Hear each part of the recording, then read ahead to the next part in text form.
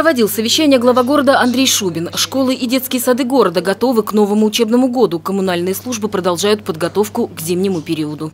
Все инженерные сети работают в нормальном режиме, отключений, ограничений нет. Значит, восстанавливаются места раскопок после ремонтов тепловых сетей магистрали на втором и четвертом микрорайоне. По квартирным домам э, ведутся плановые работы по ремонту швов и э, внутренних ремонтов подъездов в домах первого и второго микрорайона.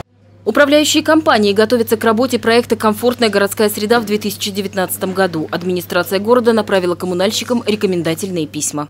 По проведению мероприятий, связанных с подготовкой проведения общих собраний, для того, чтобы нам определиться с перечнем дворов, которые мы будем благоустраивать в текущем году. И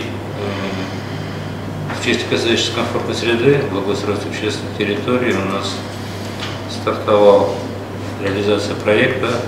Это по благоустройству парковой зоны, где у нас находится кафе-сервис. Работа начинается в этом году, с окончанием в 2019. Поэтому как бы попрошу всех граждан отнести с пониманием э, те виды работ и как будет выглядеть территория, вы можете увидеть на дизайн макете, который установлен э, в данной зоне. На прошлой неделе инфекционные заболевания регистрировались на обычном уровне.